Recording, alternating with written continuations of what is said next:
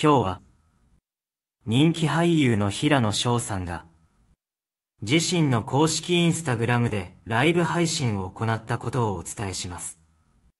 平野さんは、イメージチェンジしたことをファンに報告しましたが、その反応はいかにこのニュース動画では、平野さんのライブ配信の内容や理由、イメチェン姿やファンの反応などを詳しくお届けします。それでは、始めましょう。平野さんがライブ配信を行ったのは、14日の午後5時からでした。ライブ配信は、平野さんの公式インスタグラムのストーリーズで予告されていました。平野さんは、先日、同じグループの神宮寺勇太さんがインスタライブをしていたことから、俺もやりたくてマネージャー君と話して決まりました。と、急遽ライブ配信を実施した理由を説明しました。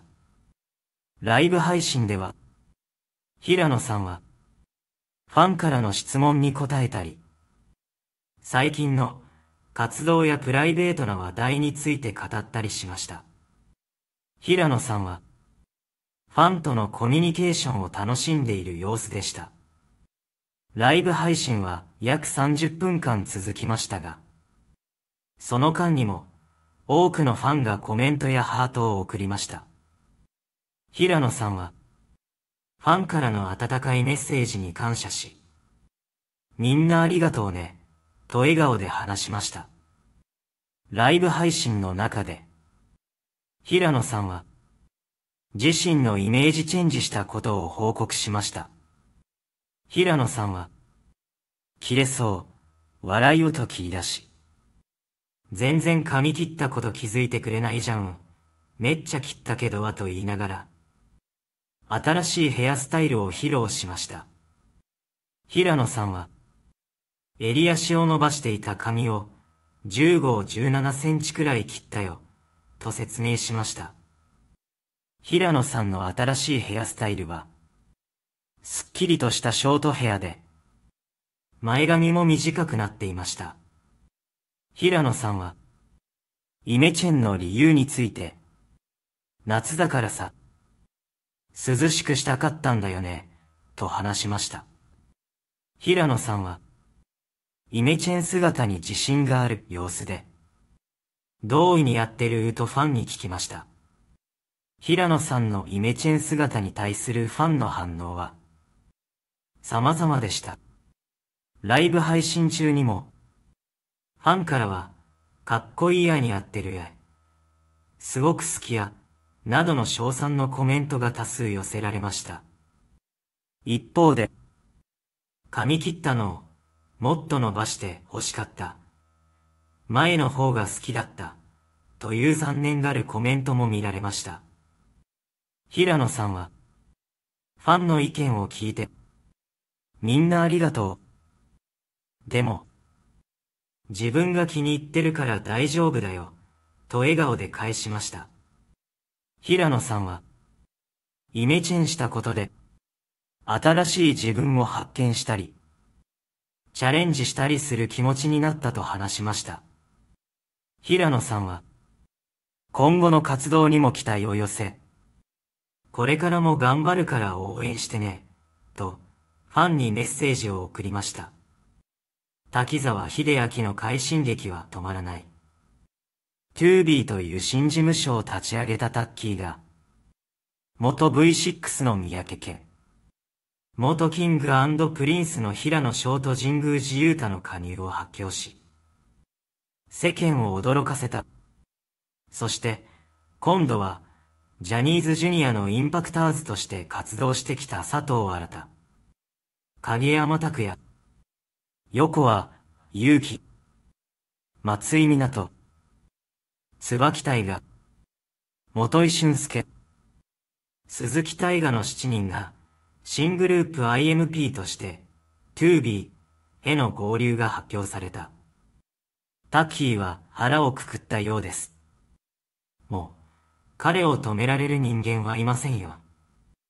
いるとしたらあの世にいるジャニー北川氏だけでしょう。と、多くの業界関係者が驚いている。確信犯ですよ。ジャニーズ事務所がジャニー北川氏をめぐる性加害報道で混乱しているのに乗じ。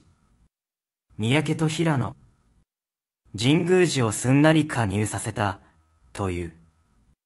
やめジャニは、今後も、トゥービーへの加入を希望しており、それに対してジャニーズ事務所は、希望を叶える方針を掲げていると言われています。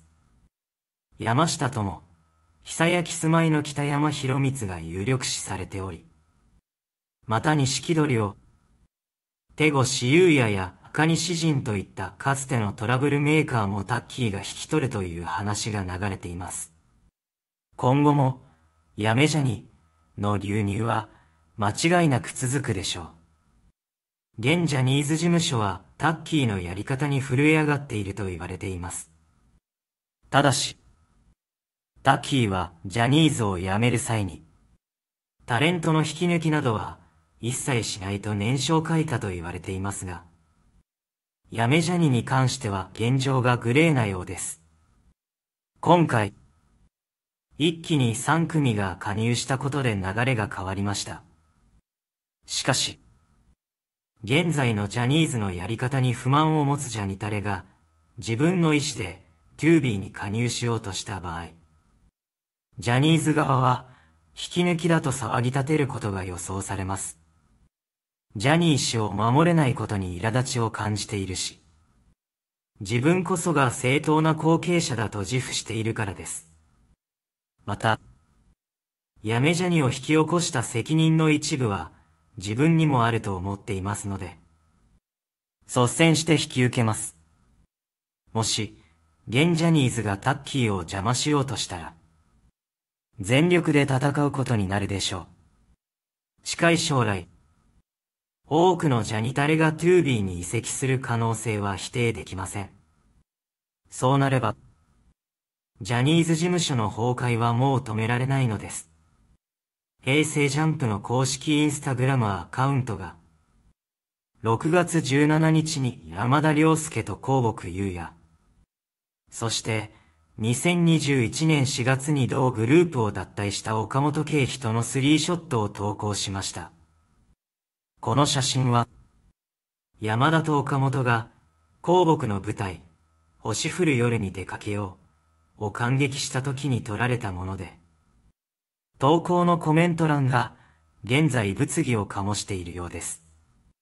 平成ジャンプの現役メンバーと、元メンバーの貴重な記念写真は、広木の楽屋前で撮影されたもので、コメントには、ゆうやの舞台見てきました。あ、隣に軽人を添えて、と書かれています。山田と広木はポーズを決め、一方で、岡本はパンフレットを片手に微笑んでおり、三人の和やかな雰囲気が伝わってきます。山田さんと岡本さんは、ファンから山家と、と呼ばれる仲良しコンビで、プライベートでも親友関係。今回、一緒に広木さんの舞台を感激しに行ったのも、自然な流れのように感じます。ということです。中には、もう一度グループに戻って欲しいと訴えるファンもいるが、その一方で、この写真に対して苦々しい思いを抱くファンも少なくない。8人の JUMP しか見たくないな。ファンの気持ちをもっとさしてくれ卒業したら離れた方がいいんじゃないですか？元メンバーと仲良くは別にいいけど。ファンとしてはこういう写真見たくないです。JUMP を捨てた人がいるんだけど、あの時。メンバーとファンの気持ちをもうちょっと考えてほしい。など。岡本がこの写真に写っていることに激怒するコメントも殺到している。なぜ、岡本に拒絶反応を示すファンがいるのかといえば、やはり、脱退の仕方が悪かったというほかない。そうだ。キングプリンスの冠番組、キングプリンスる。の3月11日放送回に、宮野真守がゲスト出演します。この回では、当たり前レストランと男のロマンシリーズの二つの企画がオンエアされます。宮野真守は、当たり前レストランという企画に参加します。この企画では、料理名を答えられた人のみが豪華料理を試食することができます。名店の絶品料理が次々と登場する中、予約の取れない超有名店の人気パスタ、アラビアータ、おひらのショーがまさかの珍回答してしまいます。